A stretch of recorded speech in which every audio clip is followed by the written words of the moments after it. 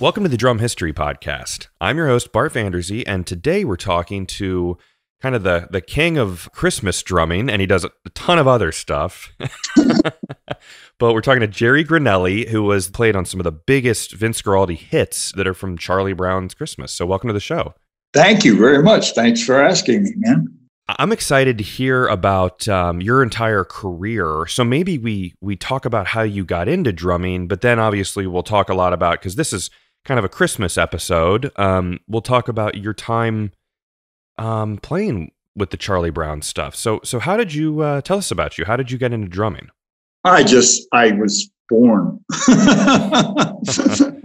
and, and my dad was a always loved the drums. So there was drums around the house. And my uncle, both of them were did other things. My dad sold poultry. My uncle sold was a butcher, but there was, you know, we lived right across the street, and I grew up in a real Italian neighborhood uh, with all the relatives in one block, and there was just always music. And there was Jerry, who had this gift.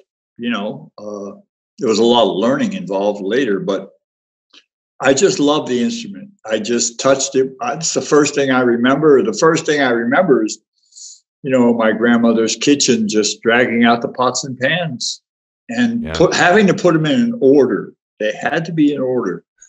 so I made little drum sets and I just played. I just banged away. But there was always some logic to it. It wasn't just like, you know, kid banging. I was playing. I played, so I just loved to do it. It was very natural for me. Uh. And then you know they just went, oh, took me to a teacher when I was very young. And in those days, there was the National Association of Rudimental Drummers, you know, and uh, I become like a little child whiz. Was in the, all the contests, beating everybody much older than me. Uh, I just, you know, I love to practice the drums. I love to sit at a practice pad. I still do. Uh, so it just, I grew up, and my dad, of course, and my uncle made so much music available to me. And I was in San Francisco, one of the great music capitals of American music, you know. So I just got to hear everybody and got to meet people. I got to meet Gene Krupa. He spent a day with me, you know, when I was eight years old. And just so many people, Shelly Manne and Gene, and you know, they uh, were all so, you know, encouraging and friendly. Gene and I have stayed friends his whole life, and then, of course, that continued with the other drummers I learned from, Philly Joe Jones and Elvin Jones, and all that music was in town. And I was, that's all I ever wanted to do. I, you know, never never had a day job and got to hear all of it from Louis Jordan to Red Nichols to, you know, all those people. And it, it, it just, it just seems, it just seems really natural to me, you know? Yeah. I wanted to be the greatest drummer in the world. Yeah. You're, you're up there. I mean, you, you are, I mean, I've listened to a lot of your stuff and, and a lot of amazing videos, and, and you have a very unique style too that stands out. It takes time to find your voice. You know, you steal as much as you can because that's how you learn. Yeah. But yeah, I mean, you know, and I realized later you don't ever, nobody gets to be the greatest, but you get a seat at the table. And I guess if I have any pride, it's being in that tribe. All my friends are the great drummers, and yeah it, it's just it's uh I go from thinking of it as a life wasted to just such a blessing. You know? That's a true musician who just like that constant like like one day you're like, oh, this is going great, and the next day you're like, man, I cannot play at all. Like that's just all musicians have that kind of like interior uh, that in, in your head sort of like um, struggle. So yeah, and I that's fundamental. And if you you know, I realize now at this about to be 80 years old, you know, I fell in love with the practice pad the other night. And of course, there was the fame and wanting to perform and all that, but it always comes down to this challenge of you and the instrument. I hate not being able to do something, you know. I hate it. And so I'll work until I can accomplish it. And that's that's what keeps you going because the fame comes and goes. There's money, there's fame. They remember you, they don't remember you, they hate your record, they love your record. You can't ride that wave. You know? No. And it all comes down to, for me, it comes down to uh, peer group. You know, the people who know, who respect you. There's nothing like that. Yeah, yeah. Especially in our in our circle of drummers. Um, I think it's we always talk about it on the show, but it's kind of different than other instruments. Where drumming drumming is kind of a family. The community is very like we love our legends like you, and we we love our um, you know the guys, the stories, and all that. Um, so just to have the respect of everyone is is, is huge. Yeah, because and you know we're the only ones who are competing because there's only one drum slot, only one drummer gets to play. You know, mm-hmm. and so we're all competing, but those same guys we competed against, we were rooting for. You know, sure. yeah, and they're still your friends. I talked to Billy Hart. You know, we're buddies. We're brothers. So, uh, yeah, it's a wonderful fraternity or to be a part of. It's a wonderful it, uh, tribe yeah. to be a part of. Absolutely, fraternity is a good way to put it because it like I mean it's this this like, but I, I like it too because you could be. I've seen it where there are guys who are so knowledgeable about vintage drum gear and they're just oh god passionate, but you hear them play and they're not they're not bad by any means, but they're not Vinnie Colaiuta. They're not these amazing drummers technically, but every we still love each other. You know what I mean? It's not about how great yeah. you are; it's your passion. Yeah, it's and my dad had that passion. My dad, that was the great passion of his life. Uh, he, you know, he became a really great Italian dr- wedding drummer, man. Hmm. You know, and every night I remember him getting up from the dinner table, and I try to encourage students to do this rather than thinking about career. My dad supported the family; he paid for my drum lessons, but every night the man got up from the dinner table, and he would vanish down to his drum set, play along with records, play the drums for two hours. Wow! Every night. That's uh, awesome and even when I was much, much, much better than him, he had no ego about saying, "Show me how to do this." that's awesome. Yeah, that's great. Yeah, and people are fanatics. There used to be drum shops, you know, real drum shops. That's all they did, man. No guitars. Oh yeah, there still are.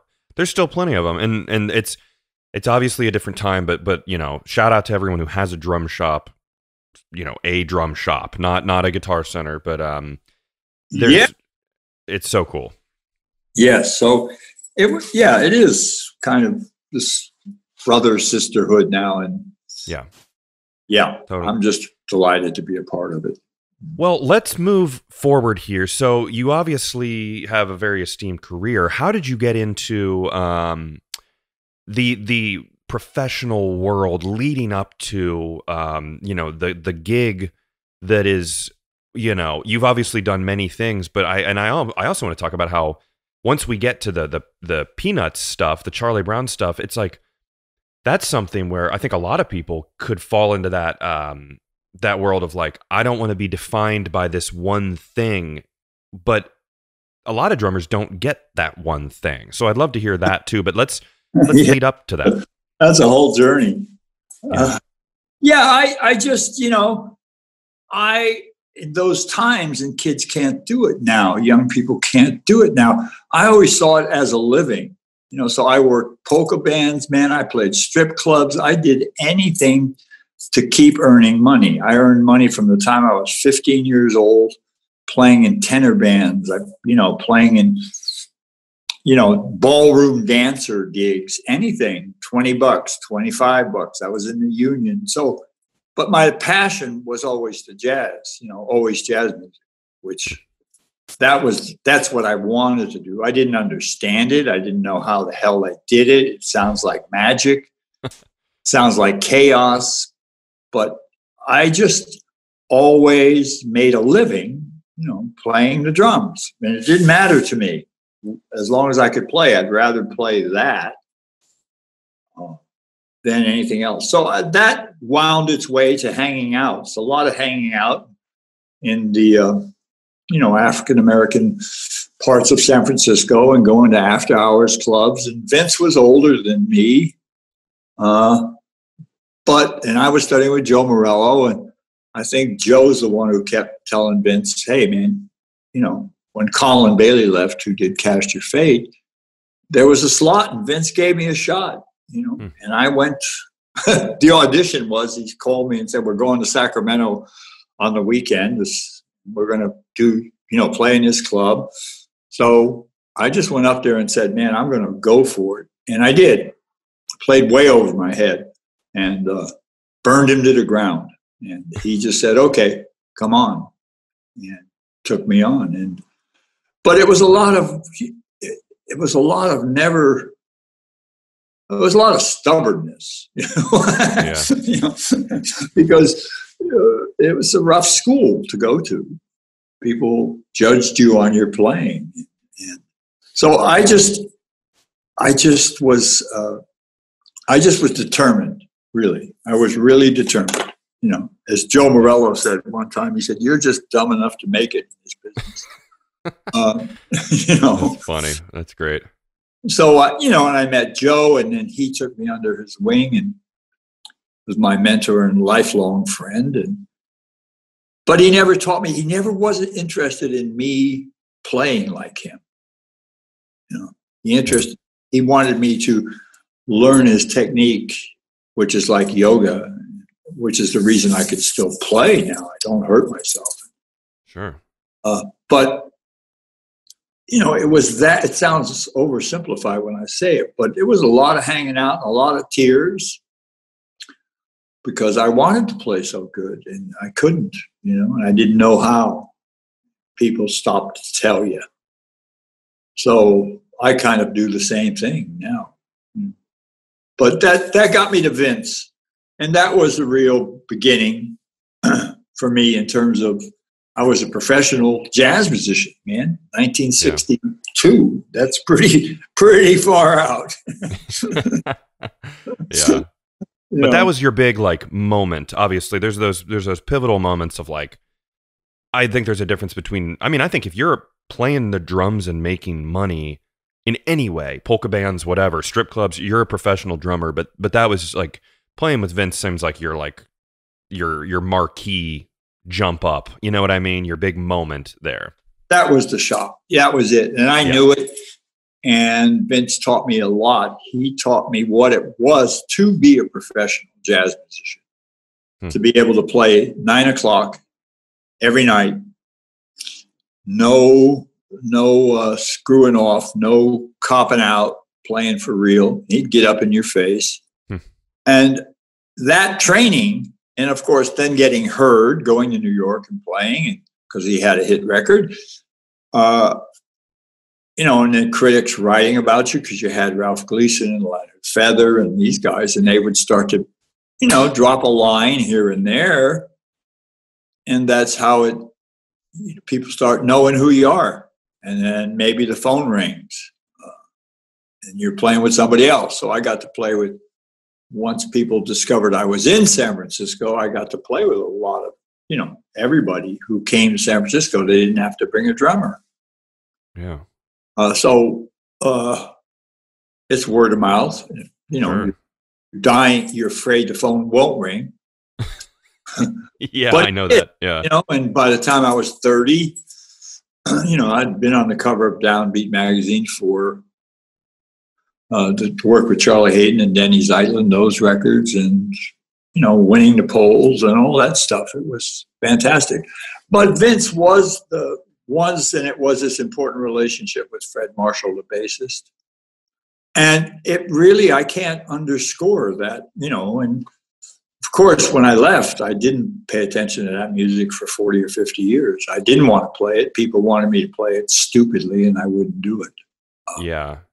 But I never, and I was annoyed, you know, because I wasn't getting royalties. Man, everybody was making a million dollars except I, us. Yeah, that's. But, well, back up a little bit. All right, so my my let's just like I mean, obviously calling this the the drum history Christmas special. Let's talk. And, and again, I'm sure you had that those feelings of like like everyone does, where like I know Ginger Baker had those feelings of like I'm not getting paid for this as much as Eric Clapton and stuff, and it's similar to that. But like, all right, so looking at that whole thing, how did and I'm sure this information is out there, but like with with Vince Guaraldi, how how did he become the the Charlie Brown guy? Do you know how that relationship started? It was all, you know, people think, especially nowadays with social media, people are thinking they if you big enough on social media, something happens. But this was all accidental. Hmm.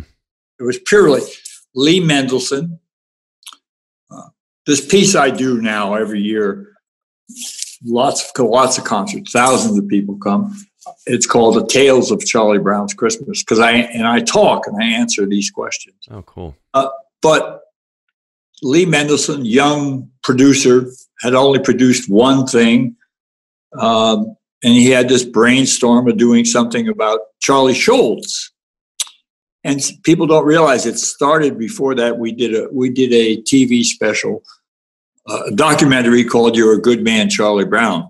And it was just that Lee driving across the bridge in San Francisco, the Golden Gate Bridge, he hears Vince Guaraldi's music, he hears the trio, and he, the lights go off. He thinks it matches Charlie Schulz perfectly.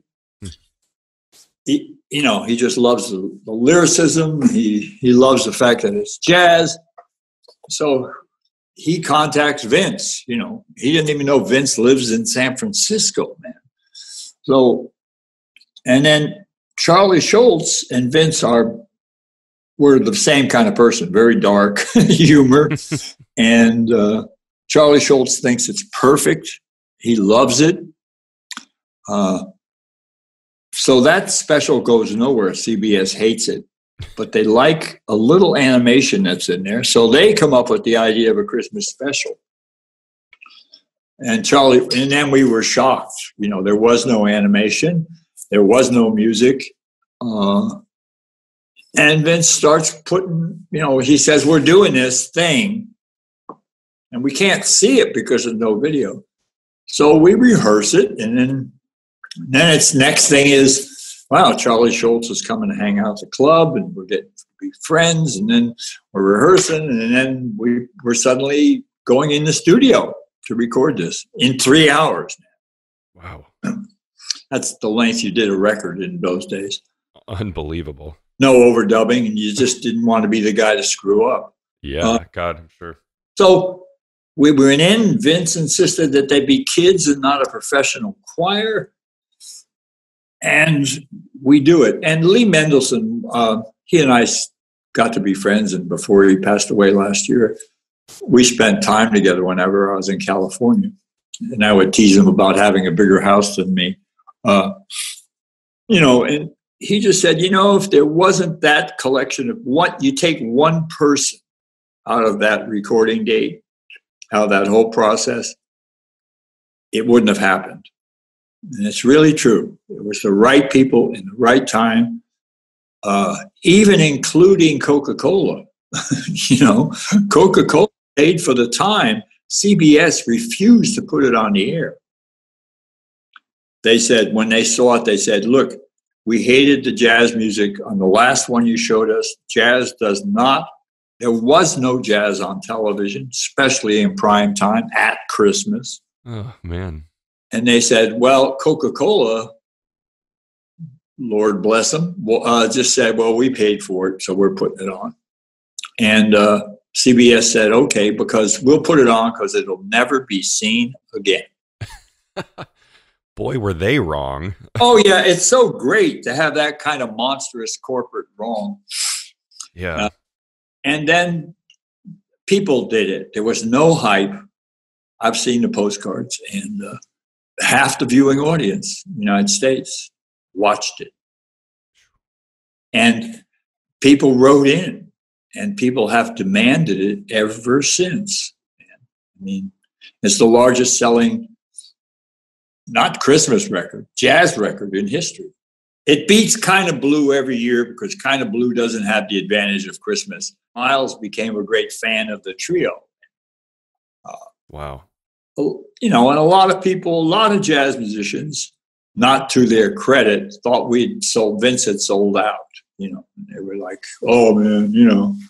But it wasn't. It wasn't. No. It was really as good a jazz trio record as you can find out there. you know. Yeah, I mean, you take away some of the like really Christmassy songs on the the album. You know what I mean? Like, there's some that are just like you could listen to any time of the year, but People do, man. Oh, I do too, and and it's so funny because um, again, I was saying I just moved to a new um house, and we were walking around the neighborhood. They did a thing where there's like you know you you put those luminary things outside, and people were walking up and down the street, and there was a little. I say little because they were like in grade school. Some kids who had drums and a bass and a keyboard set up, and they were playing um they were playing music from that album, and it was just unbelievable. It's Oh, yeah. everywhere. It's it's uh, it's it's it's it's far out. I mean, it's just really, you know, it's in, in it's it's in the Library of Congress uh, for under the American Classics. You know, it's a permanent collection. Uh, it never changed my life. It never changed any because it took time to grow. You know, um, Vince did all the specials and then they started doing hiring other people to do them. But Charlie Schulz said, "Please get Vince to do them again. Use that music. I don't like all this new music." yeah. Uh, so yeah, and I, you know, I mean, it's countless emails and uh, phone calls from drummers. How how did you play that? You know, why did you play? How did you play that? Yeah. Well, let's talk about that because, like, before we move on to like the the aftermath and all that stuff, and then the rest of your career. So, what was the recording? You said I know you said it was kind of a three hour, um, no overdubs, probably like a four or eight track kind of. We didn't have no eight tracks. then. So four track. four track, basically. Yeah. Yeah. What was the setup like, and what was your what were your drums you were using and your cymbals? I mean, you're talking to drum nerds here, so what was that all like? I, it's funny because it's a site up there now, people talking about Camco. I was using one of the original Camco drum sets. Cool, the Oakland, yeah. Morello said, Hey man, there's this guy, he's got these great drums.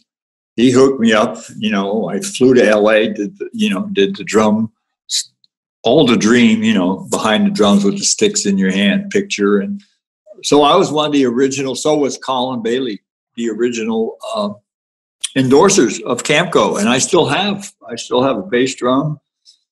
Uh, I still have some set, uh, parts of sets, you know Cool. And they were Camco, and it was like you know I liked I was using A Zildjian cymbals, uh, which I still wish I still had, and um, Joe Morello gave me one of the first prototypes of the metal snare drum that Ludwig made for him. So that's the drum, calf heads, and we set up like the trio. You know, the drums were a little bit isolated. The piano was, but we could see each other uh, and we never used those kinds of visual cues but it was pretty much set up like recording studios at that time you know um, and you didn't if you made a mistake you had to you had to do it over Yeah. So But different now. we were pretty much one or two takes if you listen to the record you'll notice there's so many fade outs because we couldn't see the video So you just played. Yeah we, there's the fade outs are all long hardly anything ends abruptly you know Yeah, uh-huh. sure. And- we'd been playing the music in the club. That's how we rehearsed. Vince put it in, and we it went pretty fast, man. It went pretty fast. Uh, just maybe two or three takes of anything. Wow, that's amazing. And so people know while we're talking that we, in case someone doesn't know this, because again, there's people out there who are might be, you know, just not familiar with it, which is pretty unlikely. But it's a Charlie Brown Christmas um, is the album that we're talking about. Which, if you put it on, you're gonna hear it. I mean, I'm pretty sure everyone knows knows the music, but I just need to say that's the album we're talking about. If you don't know that music, you don't go to restaurants, airports, all those. It's in every music in, Yeah, in the. I mean, literally in the world. yeah, heard it in airports in Europe and Asia, and heard it in China. I was in China last year, and uh, there it was, man. wow, But it was just, and it was really, I can't. It was really honestly played, and one of the great benefits of that, besides all the joy that it brought generations, literally, uh, it was a lot of people's first jazz concert, first jazz record. Sure.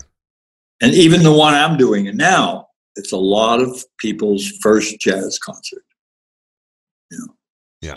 And that's really maybe a really important, important uh, fact of this. You know, uh, that it that it did that. It opened those doors. Yeah.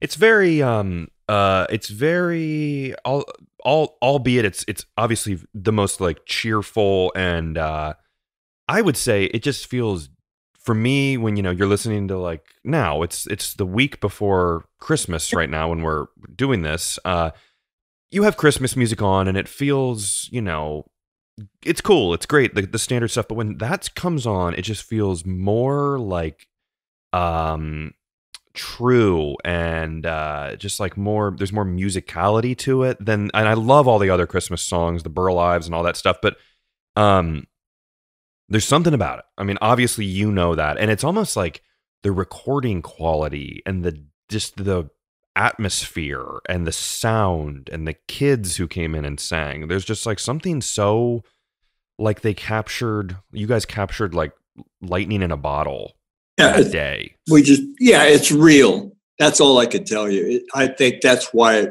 people could feel that heart connection and they they made it happen you know. I'm surprised i'll go go play a concert and somewhere and there's a thousand people you know. I mean Yeah. just sold out. It's really cool to you know to know they're all sold out before you get there but it's and these people are generations i'm meeting. Kids little kids who are you know their grandparents or people bring their parents you know. So it has that quality. And it was uh vince's melodies are everything he wrote are not dark and they're really complicated. They're hard to play the arrangements uh because they're so precise you know. Hmm and uh, for a drummer, Vince, there was a simplicity that if you listen to all the Vince Guaraldi records, there's nothing that fancy on there, Yeah. which Yeah. was for me as a 23 year old because I could, you know, I wanted to play everything I knew. He taught me how to serve the music, so It's very subtle, I'd say. Yeah. That makes it hard. Yeah.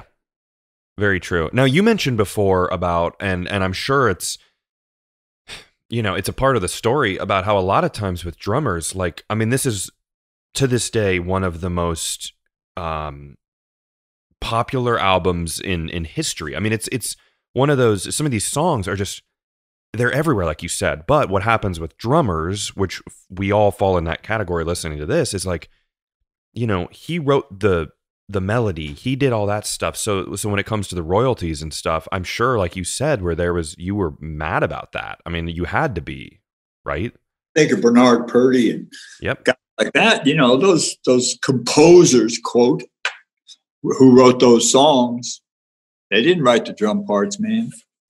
totally So the musicians union never protected us. They, and there's a there's an organization called um, Music Rights Organization, and they found all the money for me. So I got some big checks. good But yeah, I'm pretty caught up now. But Good. I think that over the years, as drummers, nobody relates to us as composers, and we are composing. yes we're composing those drum parts we're arranging that music by the, how we play it uh, 50 ways to leave your lover without steve gadd's drum hook. That tune is nothing. Yeah know, perfect example. It- without that forget it you know?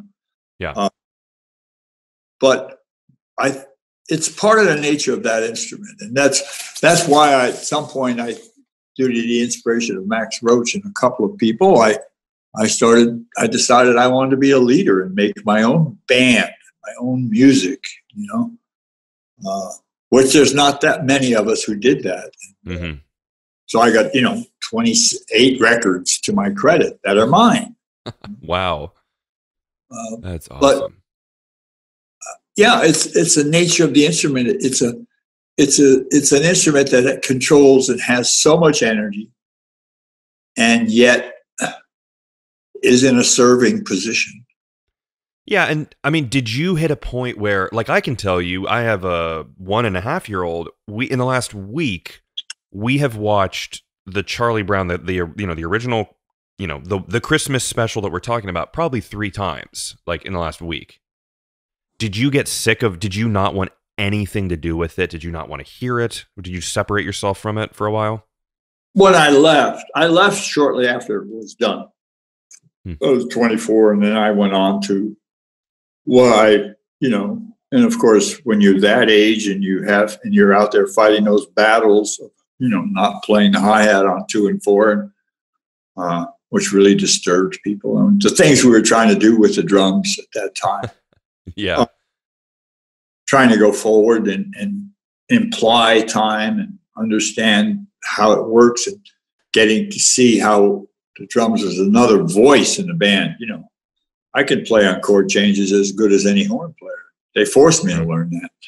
And uh, so I let it be. And I didn't like people always bringing it up, it was kind of a.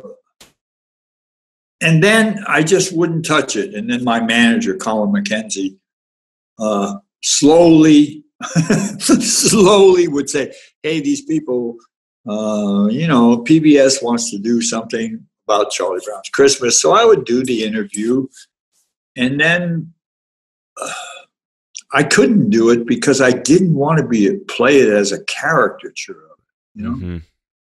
uh, I didn't want to be like some guy in a Holiday Inn playing Charlie Brown. You know.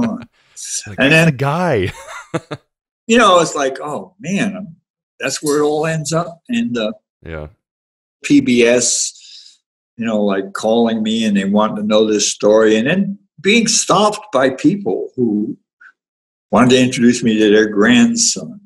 And I began to realize that, hey man, you grow up. This is a great blessing in your life. And yeah. You're mature enough now to be able to do it, but I couldn't figure out how. So one day, at one night, literally, I uh, I just saw it as a piece, and I called Colin and I said, "Hey, man, it's going to be called Tales of Charlie Brown Christmas."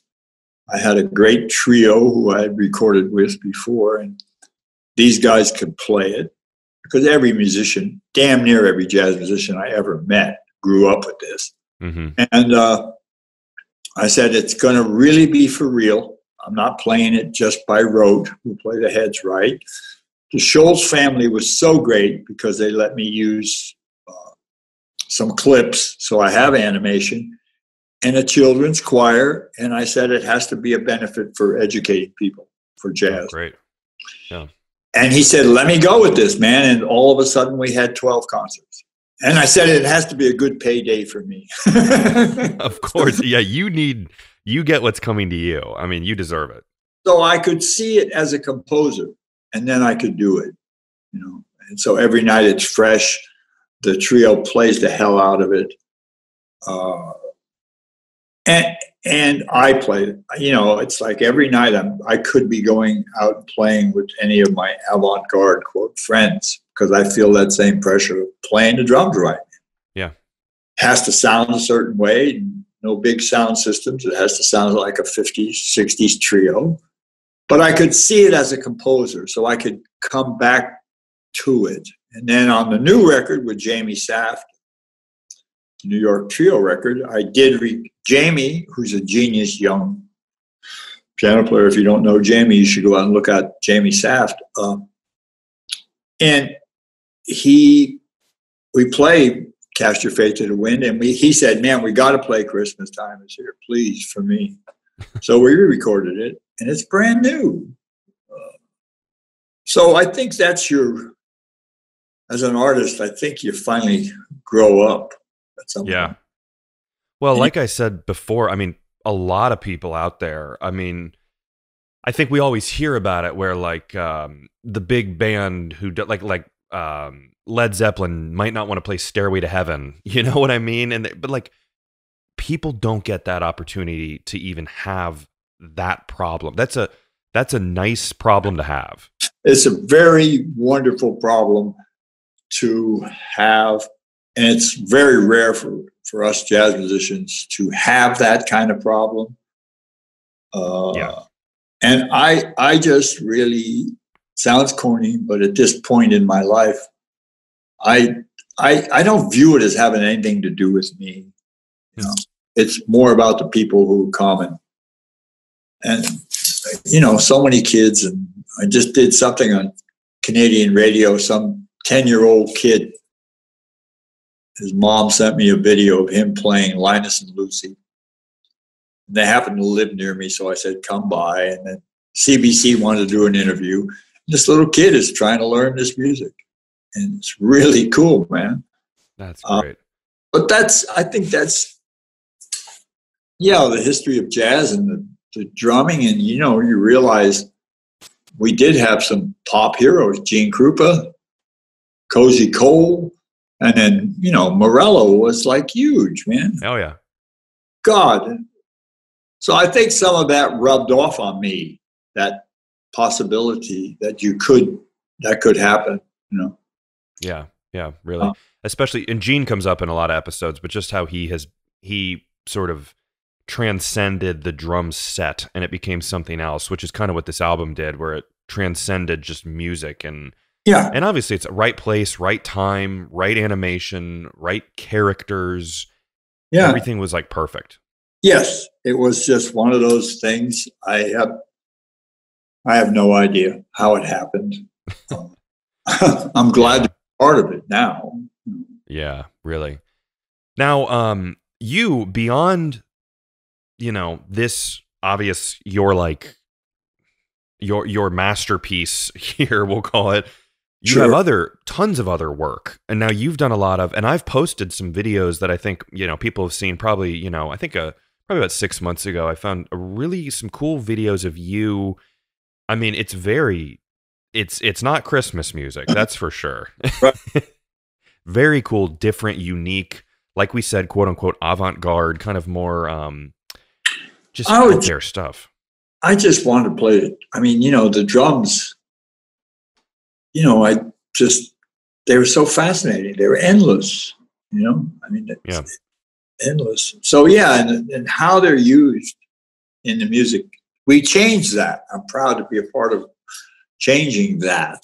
Yeah, pop records uh, that I was, you know, other hit records I was on. You're right about changing the sound because a lot of stuff you'll do is very like it's not just playing the drums the standard way. It's like using things and just experimenting. It's very, I guess, experimental is the best way to kind of like put it all together. But um, that had to be that has to be freeing to kind of be like, and I'm sure part of that deep down you're probably still like, okay, I'm not just the Christmas guy. Here's some really cool, different stuff, right?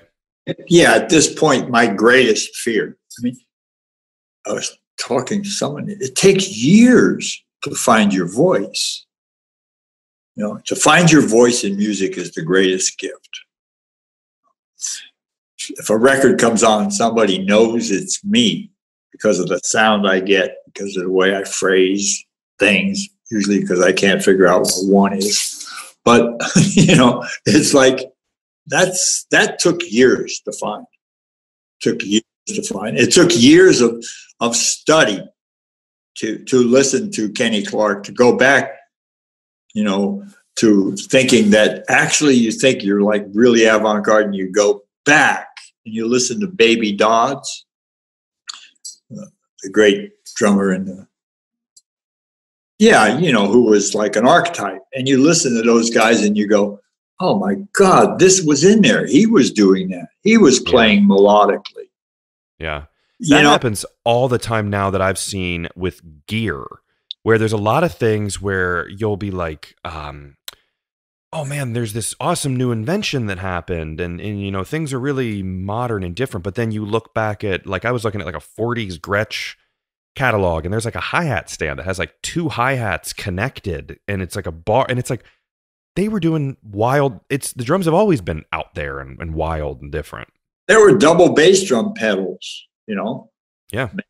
made in the 20 in the uh, before the 20s out of wood. Hmm. And uh, so the technology, I mean, I never, when I was a kid, I grew up with cymbals hanging off a piece of leather, no hands. And, and you couldn't even ride it. you know, yeah. you had to use the hi hat to ride things. You know, yeah. you even do that at first because it was a low boy. Then it became a hi hat. Got up. Uh, of course, yeah. Baby Dodds had one that got up to where he could play it. You couldn't tune heads. It was a big deal when you had one. The top head was tunable. The bottom head was still tacked on. Uh, yeah. Calf heads, you know. And it's a very people forget that it's a very unique American instrument. That and the electric guitar. Yeah. And and we lived through when I learned to play, there was only one way to learn to play rudimentally, which had no relationship to the drum set. But now there's tons of technique. I hear these drummers, I look online, man, and you know, done drum clinics where good God, the things they can do are amazing. Yeah, it's it's a different world now. That's for sure than what you what you were doing, but I don't think you can have one without the other. I don't think there'd be let's call it chop chop city now without the very clean, smooth earlier jazz stuff. It's kind of it's all just a part of the what makes drums great, you know. Yeah, jazz drumming is still I mean, no the the, the, uh, without getting too scientific, the body that you of, of knowledge you have to have. You have to understand chord changes. You have to know a form. You know, uh, you have to be able to move a band through a set of chord changes in odd time signatures. I mean, it's incredibly sophisticated considering it's an instrument that started out as, a, as a language instrument. That's what it started out as, as a ritual instrument. Yeah. And it was a way to, you know, uh, for people to communicate. Yeah, exactly. And, Send messages. And even with war and battles, it'd be sending messages down the line. And I mean, yeah. Yeah, it's a wonderful, consider it was the first instrument, that in voice. Yeah somebody banging on a log uh, and creating a, a, beat that said danger. You know, I'm sure that was the first one, right? of like, course. Yeah. They're going to eat us. Tiger, yeah. Run. Play this beat, you know? Yeah. And, uh, so we're really getting into drumhead stuff, but it's, it's, I think that's important to realize. And what's being lost now, as a, if I can be a grumpy old guy, is there's I watch people do technique, you know, but there's no music, man. They're not mm-hmm. playing music. They're just it's it's uh, sport. Sure, that's a good way to put it. It's they've changed it into sport, and uh, it's fantastic. But it it's separating it out, and that's wonderful. I could never do that. Uh, but and I'm not interested in that. And but then you have Vinny and you have other great drummers in that then you know in that form that are you know incredible musicians. Incredible musicians. Yeah. Yeah. I can't think of my favorite one of my favorites is the guy with uh, sting. Oh man. Just that's to that's, wait there's v- vinny. Who else has played with him? Uh, josh freese has played with him. Um, yeah. It's oh god, I can't remember. Omar Hakim, I think, played with him. Yeah, uh, but the way if you oh, listen, oh, Stewart Copeland. Yeah, it's not him. It's the last. I think it might be Vinny actually. Yeah, Vinny. That snare drum sound where they have to put it, but the way he'll he'll just play three bells of the cymbal in the right place in a song, it makes the whole tune. You know. Yeah. Yeah. Absolutely. That's yeah. genius, man. Yeah, that's musicality and cleanness and I think and I always say this that I think if people are playing the drums, that's the best thing, period. Play the drums. But but if you're if you're always playing alone um which I understand too, like I've fallen in that again having a baby and like I I used to play in a band all a bunch of different bands, and then I started the podcast and had a baby, and I was like, okay, now I'm just like playing alone, and it's it's just a different thing. But you got to do what you got to do. But it's very different when you sit down with other people and you're not like, okay, you don't go nuts all the time. You that's no. bad for the music. It's, no, no, you're not gonna you're not gonna work doing that, man. You're gonna yeah. work. You're gonna work uh, because you play for the music, not for yourself. And that's Absolutely. the problem with people. You know, people send me things and they go, "Look at this 15 year old, and he's playing along with a record. Playing along with, and he's learned all the parts on that CD, right, for this yeah. complicated drum part. But the person who's playing with it didn't think up those parts. Mm-hmm. They're just copying them. You know what I mean? And uh, that's sport. It's beautiful, but it's sport. Yeah.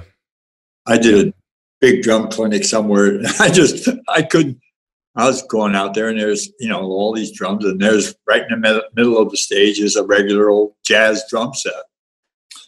So the only thing I could do is I just walked out and started playing it backwards with my back to the audience. It started the other way. yeah. you know, slowly moved around it. But I, uh, it's fascinating, and because and drummers are more nerdish than anybody else. we are. We love it. Oh, then, uh, I mean, if, if you're listening to the show right now, I'm sorry to tell you, but you're probably a nerd, and you're one of us, and uh, and accept yeah. it because it's yeah. yeah, yeah, and I still am. Like, hey man, what are you doing there? How'd you do that? Give, you know. Yeah, people don't get it who aren't drummers. They'll go like, I don't know. I mean, it's like it's not a hobby. It's a it's a life. It's it's a life choice. Yeah, you know? you're holding on to like you know K Zildjian cymbals. I've got a 1943 K Zildjian. It's like wow, man, cool. You know. Yeah, that's uh, so cool. You know, people go, "How? What kind of cymbals? I go, "Whatever they were giving me at the time." So, you know, yeah got 40 cymbals sitting downstairs and I oh, give them to my students. And but I, a lot of them I don't.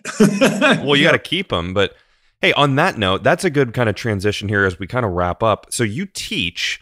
Why don't you tell people how they can like find you, how they can take lessons from you know the master himself and uh, learn more about you? How do they do that? I'm not doing the Zoom lessons. They can go to jerrygranelli.com uh, and that'll lead you to a thing called Creative Music Workshop website. Because uh, I like I uh, I don't like to give private drum lessons. Okay. Because it I you know I in all honesty, uh, it just bores me, man. Uh, and it's usually a solvable problem. You know, I like to help people with their hands in the Morello system. And on practice pads, if anybody wants to learn that, I can teach you that. But the rest, I like to teach the instrument in context. I think it's very important to teach the musical instrument in a context. You know. Sure. Uh, but Creative Music Workshop is is is done in Halifax. There's one online, January seventeenth, but it really uses uh, improvising, and I'm interested in teaching that more than the drums at this point in my life. Uh, I have a few students here, but anybody who wants to write to me, Granelli drums, man, you know, and I'll answer questions about it. Great. Because I do love to talk about it, as you can tell. Oh yeah, well you're in the right place, and I'll spell it's J E R R Y G R A N E L L I dot com, jerrygranelli dot com. Um, yeah. Sure hey, at the risk of getting weird emails, uh, Granelli drums, one word is at Gmail is my email. And I right. will answer questions. I'll, I do love it, you know. I mean, yeah. When I when I was studying with Morello, I drove him anywhere he wanted to go because he was going to talk about drums all the time. yeah, I've heard we've we've had um, so Steve Fidyk, who's a great drummer, did a biography episode on Joe, yeah. and then I've uh, yeah. Yeah, yeah. So yeah. I've I've heard of his, and I'm I've been taking lessons with one of his friends and a student of Stone, Barry James, who's become a good friend. Um, and yeah. I've heard just Joe Morello. I mean, he's he's the. It doesn't matter again if you're a pro or an amateur, you can be, you know, he's he's a drum nut like all of us. Um, oh yeah, yeah, yeah. But yeah, I'd love to. I'd love to talk about it, uh, and you know, uh, I love to teach it. that's And I great. love the sound of it. And uh, I, you know, I, I'm a complete nerd, man. I'm all in. That's good. Well, I'm glad we had you on here, and I, and I should have done this at the beginning. So, um, I always say who kind of recommended the episode. The other morning, like I said, on our probably third time in the week watching the Charlie Brown special, my wife said, I think she was just googling, and uh, she recommended. She was like, "Oh my god, you should talk to J-. like he." She googled you and found, and I, I'd seen your stuff obviously before, like I said, but and I, I I know you were great, but she said, "Why don't you email?" Jerry Granelli about getting him on and talking about, you know, this stuff for a Christmas episode. So my wife Abby was the one who um this was this was her idea. So um we can, we can all thank her for that. But uh we owe so much to our wives, yes we do. We probably don't admit it enough. I know I don't, but um the Yeah. wives of drummers. yeah, exactly. I'm picking up an electronic set today cuz I moved and again having a baby. I'm trading I'm all about trading. I'm picking up a. Um, I traded a, an old piece of audio gear that I don't use for this guy as a brand new electronic set. So I'm like, it. If I playing is playing, I know it's preferred. I love the acoustic drums. And I, I have multiple sets, but I'm like, I just want to play and not wake the baby up at night. So No, it it doesn't matter. It's wonderful. You know, my mom went to every drum lesson I had wow, when I was a young kid. She could tell across the room. She'd say that paradiddle doesn't sound right. You know, that's awesome, mom. That's great. Cool. Well, hey, Jerry, I want to thank you for coming on the show. And again, people can find you at jerrygranelli.com. yeah. Um, and just, you're a super nice guy. So I'm sure people will reach out and just want to talk to you and, um, and see your schedule and hopefully, and check out videos, which I'll be sharing. And I'll post um, Jerry's website in the kind of description of this episode. So again, um, Jerry, thank you so much for taking the time to be here. Thank you for doing this. I mean, thank you for having the podcast and there's some great stuff up there. Thank you so much. Thanks, Jerry. If you like this podcast, find me on social media at Drum History and please share, rate, and leave a review. And let me know topics that you would like to learn about in the future. Until next time, keep on learning. This is a Gwyn Sound podcast.